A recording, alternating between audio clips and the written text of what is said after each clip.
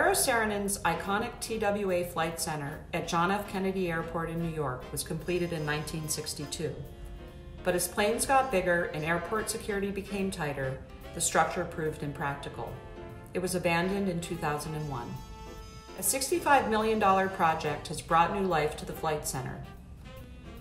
Saarinen's building now serves as a spectacular lobby for the TWA Hotel, which opened to the public in May 2019. The Flight Center belongs to the Port Authority of New York and New Jersey. In 1994, when the building was landmarked, its owners hired a preservation expert to come up with a plan for saving the historic structure. That expert was Richard Southwick, a partner with Beyer Blinder Belle. More than a decade later, his firm became the project and preservation architect when the development company, MCR, leased the property in 2015.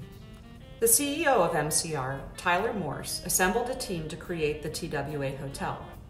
Lubrano Ciavarra Architects designed two new hotel buildings, which sit behind Saarinen's Flight Center.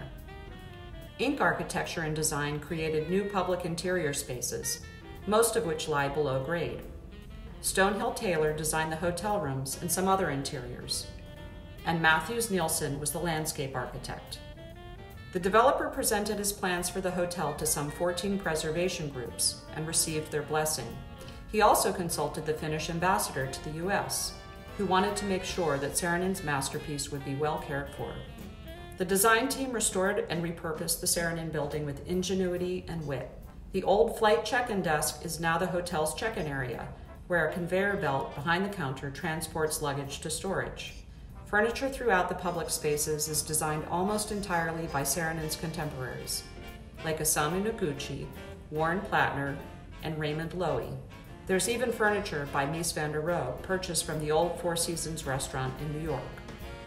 Saarinen's famous red carpeted tubes, which once led to TWA planes, now serve as passageways to two new seven story hotel buildings. The 512 guest rooms have just the right mid century look, including Saarinen's womb chairs, upholstered in TWA red. Glazed walls are an incredible seven layers thick to block out noise. That's four and a half inches. From the outside, the black glass hotel buildings are simple and spare intentionally subordinate to Saarinen's thin shell concrete bird. They effectively disappear while, at the same time, reflecting the historic architecture.